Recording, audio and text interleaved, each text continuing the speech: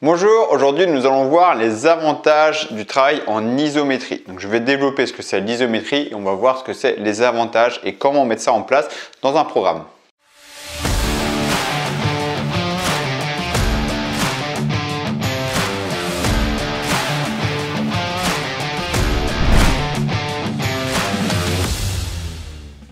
Bonjour, c'est Ken. Je m'appelle Ken, je suis coach sportif et euh, aujourd'hui on va voir donc l'isométrie, qu'est-ce que c'est et comment utiliser ça. Donc l'isométrie, euh, déjà avant de parler de l'isométrie, on va voir les différentes contractions musculaires. Il y a la phase concentrique en musculation. Une phase concentrique, c'est le raccourcissement d'un muscle. Excentrique, c'est l'étirement d'un muscle et l'isométrie, en fait, c'est euh, le muscle qui ne bouge pas. Donc, je vais donner ça concrètement sur le biceps, sur le biceps ici, bras ouverts. Ici, quand je vais ramener le bras vers moi, ici, le biceps, il se raccourcit. D'accord? Parce que là, en fait, les points d'insertion ici, ici, ils se rapprochent, le muscle va se rapprocher. Donc, c'est la phase concentrique. Ici, je vais éloigner, je vais chercher à étirer le biceps, c'est la phase concentrique. D'accord La phase excentrique, le fait d'étirer, on est sur la phase excentrique. Pour les quadriceps, le devant des cuisses, ici, quand je descends, on voit le muscle, parce que les quadriceps, ça sert devant les genoux ici. Là, quand je vais descendre, je vais étirer les muscles du quadriceps, c'est la phase excentrique, la descente. Et quand je vais remonter, la phase de contraction du muscle, ici, ça se resserre, c'est la phase concentrique. D'accord? La phase concentrique, c'est quand on contracte un muscle, excentrique, c'est le freinage. Donc l'isométrie, si je reprends sur le biceps, l'isométrie, c'est le maintien d'une position. D'accord? Donc par exemple, sur le rowing, ici, avec élastique, là, avec élastique, ici, je suis en phase concentrique, donc je suis en plein effort. Là, en phase excentrique, je vais relâcher. D'accord? Donc le dos s'étire. L'isométrie, c'est par exemple maintenir ici je maintiens ici, c'est l'isométrie. Très connu, euh, une position très connue, c'est le gainage. On est sur les coudes, on attend. D'accord Le gainage, c'est l'isométrie. La chaise, je maintiens ici, la chaise où je squatte bas. Je maintiens ici, c'est l'isométrie. D'accord Donc maintenant vous savez ce que c'est l'isométrie, à quoi ça sert Alors, l'isométrie a plusieurs avantages. Ça peut servir par exemple pour renforcer euh, un groupe musculaire, un muscle sur un angle on est un peu fragile. Je pense par exemple à la chaise, et la chaise c'est courant, on se met ici euh, contre la porte, on va descendre et on va bloquer à un angle où ça pique un petit peu, voilà, on va tenir par exemple quelques secondes ici, 10, 20, 30 secondes, on est à l'aise, je peux chercher un petit peu plus bas, voilà. En fait ça va être un peu comme faire du squat, mais en bloquant, donc ça va laisser le temps au corps de trouver des adaptations musculaires pour renforcer sur un angle défini. Par exemple, je suis pas assez fort pour faire un squat comme ça, ça me fait mal au genou, je suis pas très à l'aise. Euh, je peux le faire ici, je, m'arrête à un moment où je sens que ça tire un petit peu, je bloque. J'essaie de me renforcer sur 30 secondes par exemple, et je relâche, ça peut servir à ça. La position chaise, c'est intéressant parce que je vais pouvoir jouer avec l'angle de mes chevilles. Ben, en squat, d'accord, je le répète, en squat, ben, je vais descendre, donc j'ai pas le choix d'avancer un petit peu les genoux, hein, mais si je suis un peu sensible, le fait d'avancer, ça peut faire mal aux genoux. Donc je peux mettre les genoux un peu plus en arrière, descendre ici. Et là, je travaille les cuisses sur un angle bien défini. Ok L'autre avantage qu'il y a, c'est que ça va améliorer, et ça c'est un gros avantage, ça va améliorer les connexions neuromusculaires, savoir où on va travailler. Je vais donner un exemple concret sur le dos, parce que ça c'est très très courant. Donc le dos, le rowing, ici. Quand on fait le rowing, c'est très courant qu'on me dise euh, j'arrive pas à sentir le dos.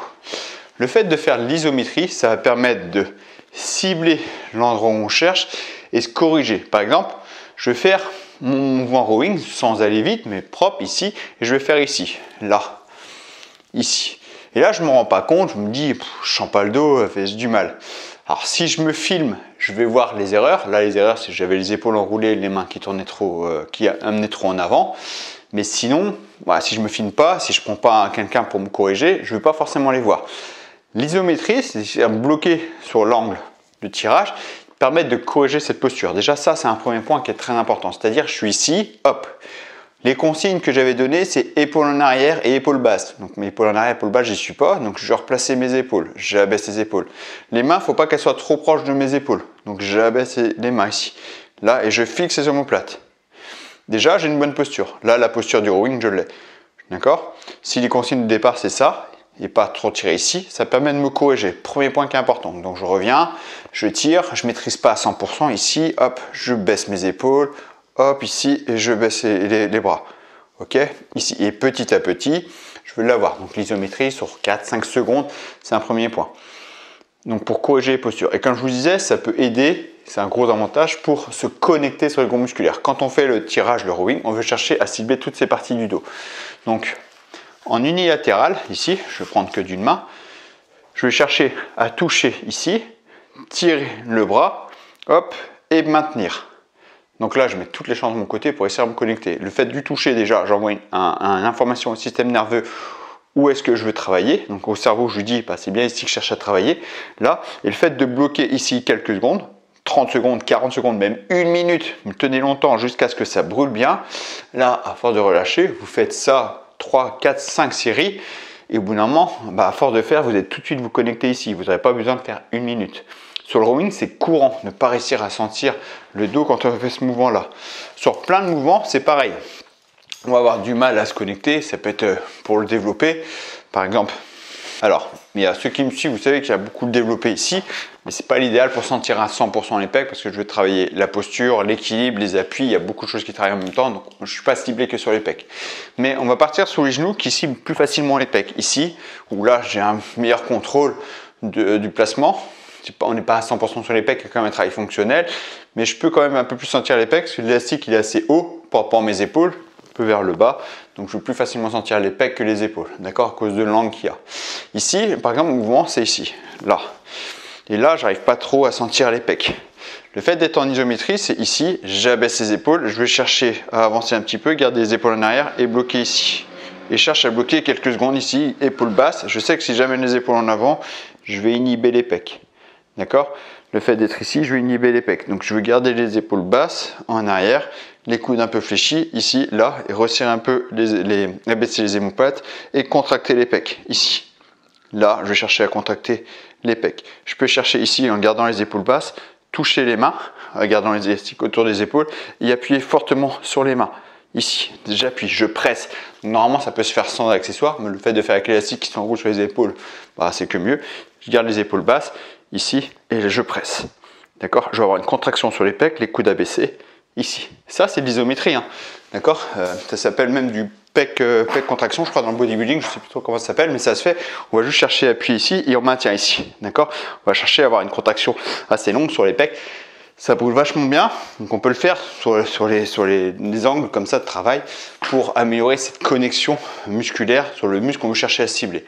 Ok? Donc vraiment c'est un point très important, permet de corriger sa posture et se connecter sur le bon groupe musculaire.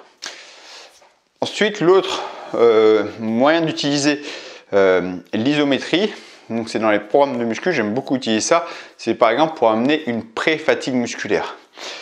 Je veux travailler les cuisses, j'ai envie de faire du squat, mais j'ai pas envie de me charger énormément, j'ai envie de me fatiguer les cuisses avant d'attaquer. Ce qui peut être bien, c'est faire un squat bas ici avec élastique. Je vais descendre en squat, d'accord? Je commence à monter, je bloque et je tire sur l'élastique ici et je maintiens dans un angle que je trouve assez dur, un angle qui où vraiment compliqué musculairement. Je maintiens là 10 secondes, 20 secondes, 30 secondes le temps que j'ai choisi. Hop, et tout de suite après, j'attaque avec mon squat dynamique. Je vais profiter de cette position isométrique pour amener une fatigue musculaire pour ensuite travailler sur le groupe musculaire que j'ai ciblé, c'est-à-dire mon, mon muscle sera déjà fatigué. Vous pouvez essayer par exemple encore plus dur euh, sur les pompes. Hein, vous essayez ici, vous bloquez ici, vous bloquez ici par exemple 10 secondes. D'accord Vous tenez 10 secondes et au bout des 10 secondes, hop, vous partez en pompe. Vous allez voir que les pecs vont réagir direct. D'accord C'est un super moyen d'amener une pré-fatigue musculaire sur le muscle ciblé. Dernier point dans lequel vous pouvez utiliser l'isométrie, qui est très intéressant en, en préparation physique, ça se fait beaucoup, c'est vraiment cibler sur un, renforcer un angle défini. Alors en préparation physique, ça va être par exemple, vous avez un sport, vous avez besoin de sauter, vous analysez votre angle de saut. Par exemple, vous avez besoin de sauter sur une jambe, peu importe. Votre angle de saut, voilà, c'est une petite flexion de jambe comme ça. Bah, là, ça peut être intéressant de faire un squat ici. Vous faites votre squat, hop, vous remontez, vous bloquez deux secondes, paf, et vous accélérez. On bloque sur un angle défini. Donc ça, c'est pure prépa physique. Mais ça peut se faire en musculation traditionnelle pour stopper l'élasticité du muscle. Je reprends l'exemple du squat. Un squat, vous allez descendre ici et remonter. Vous faites la même chose ici, vous descendez, vous bloquez deux secondes et vous remontez. En fait, vous stoppez l'élasticité du muscle. Parce que quand on descend en phase excentrique, en fait, le muscle va s'étirer, il va emmagasiner de l'énergie pour le retransmettre en phase concentrique, à la remontée en fait. Donc le fait de bloquer 2, 3, 4 secondes, vous bloquez toute cette élasticité et par remonter, bah, que à la force concentrique, c'est beaucoup plus dur. Donc sur le squat avec un peu de charge, donc de la résistance par exemple, euh, des élastiques ou une charge avec halter, ici, là je mets une, je résistance, là j'essaie d'avoir une bonne résistance, ici je descends, hop, je bloque, 2, 3, hop, je reviens, il y a une fatigue, euh, la montée va être beaucoup plus dure. Essayez sur les pompes.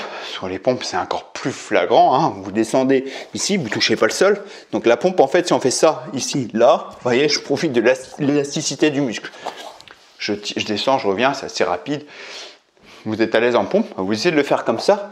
Donc je descends, ici, hop, je bloque. Vous voyez, mon ventre touche pas le sol. Je suis au ras du sol, je bloque 1, 2, je remonte. Bah pareil, c'est beaucoup plus dur. Et là, on va travailler sur des angles différents. L'angle bas, c'est là où c'est plus dur là, on va chercher à pousser là où l'angle est le plus difficile. Donc c'est hyper intéressant aussi euh, dans ce, ce, genre de cas de figure. Donc vous voyez l'isométrie, c'est vraiment intéressant. Alors tout seul faire que l'isométrie, bah, ça ne sert pas à, grand chose, sauf de la rééducation, du renforcement sur un, muscle défini. Par exemple, on a une blessure, je pense aux cuisses, on est blessé, voilà, on est un peu fragile, de faire lâcher sur différents, c'est bien. Mais sinon, à lui tout seul, ça ne sert pas à grand chose. L'isométrie, il faut l'incorporer dans autre chose. Le muscle, euh, le corps humain a des, des, des muscles qui vont s'étirer se contracter, d'accord Ils sont en mouvement. Donc l'isométrie, c'est juste pour amener une méthode, si vous voulez, une méthode d'entraînement soit un, un muscle en plus. D'accord? Par exemple, moi je sais que j'utilise beaucoup sur les pompes, j'aime beaucoup sur les tirages.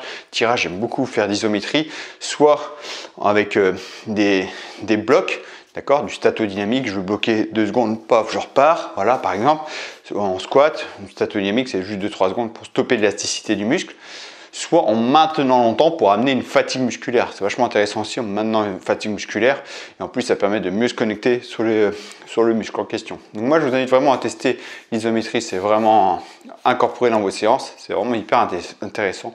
Niveau sensation musculaire, c'est top. Si vous voulez un peu plus loin, si vous voulez savoir comment atteindre vos objectifs physiques et athlétiques depuis chez vous, je vous invite à aller voir ma formation gratuite. C'est entièrement offerte en cliquant ici. Vous entrez votre mail et je vous envoie tout directement par mail. Voilà, c'est tout pour aujourd'hui. Je vous dis merci et à très bientôt pour une prochaine vidéo. Ciao